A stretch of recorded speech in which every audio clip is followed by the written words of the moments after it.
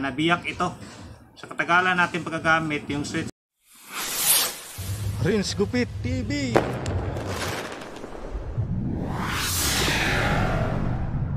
What's up mga Lods? Nandito tayo. Magtuturo tayo sa mga dahilan kung bakit biglang nasira yung clipper ninyo. Ngayon ituturo ko sa inyo ang mga posibleng dahilan kung bakit ito biglang nasira o biglang namato. Ayan. Unang i-check natin mga Lods, itong wire niya mga Lods. Dahil sa katagalan natin ginagamit yung clipper natin, yung ah, bigla itong mapuputol dito sa pag-fold niya. Mapiktuhan itong wire dahil katagalan na niya mapuputol ito. At ito rin ang isang dahilan kung bakit hindi nag-andar yung clipper ninyo. Yung pangalawa yung dahilan tingnan natin sa loob. I-open natin to sa loob.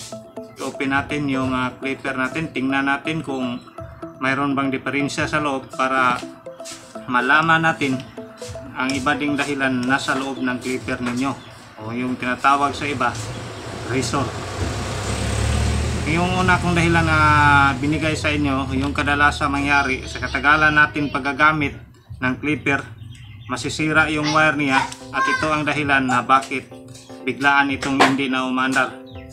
Yung pangalawa namang dahilan mga lods, ituturo ko ito. I-open nyo to sa ilalim, tingnan yung switch. Yung switch niya, tingnan yung switch dito.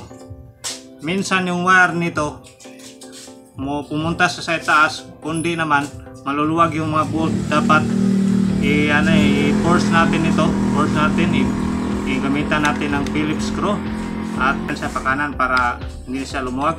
Ganyan. Yan. At tingnan niyo natin ang switch. Baka yung switch dito sa ilalim baka ah, nabiyak ito sa katagalan natin paggagamit yung switch natin mabibiyak ito ito din ang dahilan na mawala yung supply ng kuryente dahil mapuputol siya dito dahil itong line 1 na to kinakat dito on at off para papasok yung kuryente dito sa ating machine.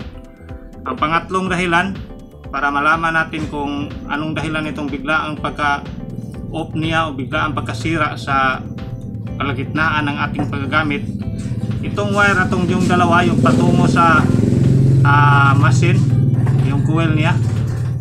Bigla itong maluwag sa, sa katagalang gamit natin hindi natin naalam na lumuluwag itong yung dalawa. Ang tingnan natin mabuti hindi ba ito lumuwag? Yung supply ito eh patungo sa current yung 220 volts. I-post natin pa ilalim i-post natin pa ilalim yung dalawa. Dapat hindi siya nakaluwag mga loads para ah, safety yung ah, para hindi siya para hindi siya bigla ang ah, ma-off sa kalagitnaan ng ating eh, ngayon ating ibabalik. Ibabalik natin yung clipper natin at testingan natin kung ah, mag-start na ba siya. At check na natin yung mga dahilan kung bakit hindi siya nag-start at bigla ang pagkamatay niya sa kalagitnaan ng ating ah, ngayon testingan natin kung pag-start nga ay okay ba.